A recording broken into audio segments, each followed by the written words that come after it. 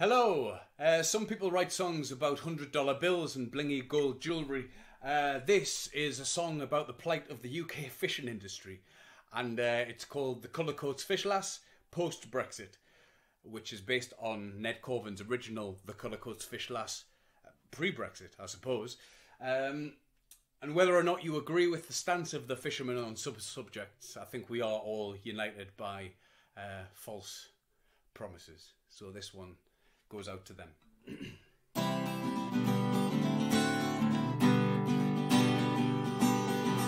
As a Cullercoats fish lass post Brexit, that's me.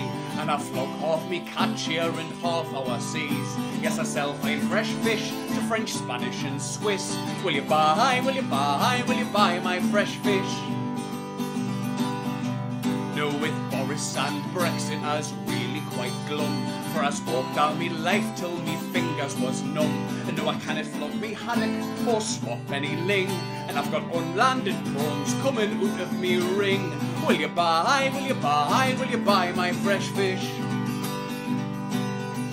Well, I once enjoyed fishing with pot or with net, but no, it's all paperwork, red tape, and regrets. I was sold on a Brexit, both sovereign and strong. Now we're torn to more Boris tack, politics all along. Will you buy, will you buy, will you buy my fresh fish? If it wasn't so tragic, well, I really might laugh. But when your whole haul is rotten and you're tossing your catch, and they still try to spin it and make it soon fine, when your whole family history and lives on the line makes you cry, makes you cry, makes you cry for fresh fish. We've been doing more than once and we've got up before, but with your foot on our back, well, we're stuck to the floor. And we'll be standing at Peterhead, Shields lay Brixham too. And we'll be screaming while lungs out till our faces turn blue. Will you buy?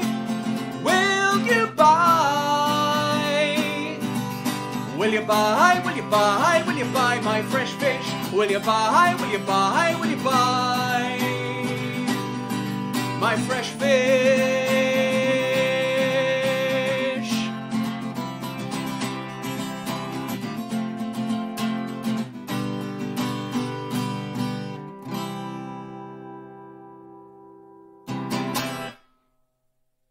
Thank you.